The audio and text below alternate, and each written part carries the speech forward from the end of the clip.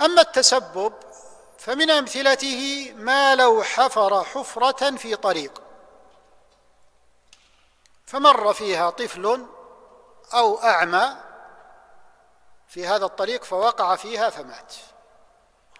هذا قتل خطأ بمباشرة أو تسبب؟ تسبب.